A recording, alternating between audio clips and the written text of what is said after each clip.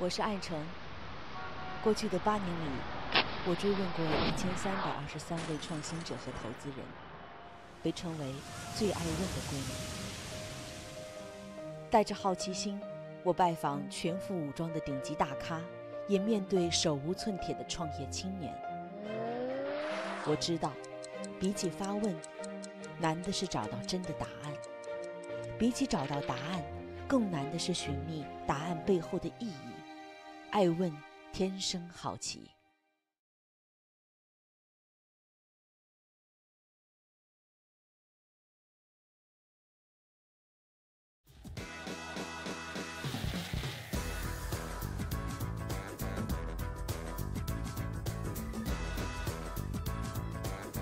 从独立设计师到公司 CEO，再到汇聚千万设计者的平台创始人，贾伟打破了设计公司不能规模化的定论，又创建了全球最大的设计共享生态圈。他的每一次尝试都伴随着自杀式的颠覆风险。爱问贾伟，你的下一次自我变革还会远吗？从二零零四年您创业啊，一开始是几个兄弟。到现在有一千位可能在洛可可平台上的设计师，但您有计划在下一个十年要发展一千万名设计师。您现在还是一个设计师呢，还是一个商人呢，还是一个创业者？呃，我觉得我有三个身份吧。三个。第一个身份呢，呃，我是一个设计管理者，啊，就是因为我每天干的大量的事都在管理这个。呃，我们线下的一千个设计师和线上的接近四五万个设计师，我首先是个设计管理者。第二个呢，我是一个以设计为核心竞争力的创业者，因为我认为，呃，有人是用科技创业，有时有人是用资本创业，有时有人是用商业模式创业。我呢和我的伙伴们用设计的理念来创造着不同的商业模式。第三个的身份呢，我是个设计师。因为我也在做我自己的品牌，呃，我也在做我自己的作品，呃，我也在每天和设计师一起讨论着如何把一个设计做得更优秀。经营一家这样伟大的设计平台，应该有很多的挑战吧？当下最大的是什么呢？前十二年自己创业，其实。挺爽的，没有遇到什么特别特别的大的难点。但是我自从做了这个洛克平台之后呢，我突然发现，嗯，就是我缺失很多。我要从一个线下的管理者思维变成一个互联网思维，变成一个平台式思维。同时呢，因为洛可可只有设计师，只有一千个设计师，洛克平台呢，除了设计师，还有用户，我们还要发展一千万用户。还有供应链，其实它是个多边平台，非常多边。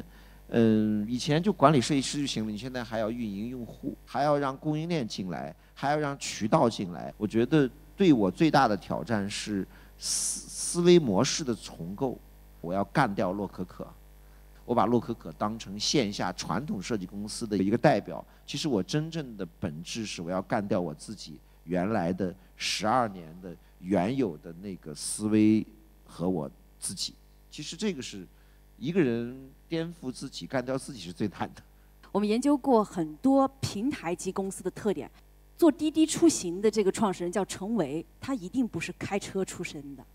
啊，我们艾问也投资了一个云摄影的平台叫 V Photo 啊，摄影。这个创始人是做财务出身，他一定不是做摄影出身的。所以，但凡是做了这一行。干掉自己，也就是自己会成为最大的瓶颈。你有这个感受吗？呃，我们其实干掉自己的同时呢，也会保护自己。但是我认为，呃，互联网经历了三个阶段。第一个阶段叫消费互联网，就是纯粹的大家做互联网的连接。互联网的第二个阶段叫互联网加。互联网加呢，往往是运营加技术，就是用互联网思维加产业、加行业。这个逻辑的互联网人呢，他就要有很强的运营的逻辑。互联网加加到了呃线下的零售，加到了医疗，加到了文娱，然后但是互联网的第三个阶段呢，就是产业加互联网。产业加互联网呢，它比互联网加更重一些，它要有深厚的产业背景，它要对这个行业、对这个产业有极其呃极其敏锐的这种核心竞争力的理解，然后再加上互联网的思维和技术的迭代，我很清晰，我们做的是假互联网。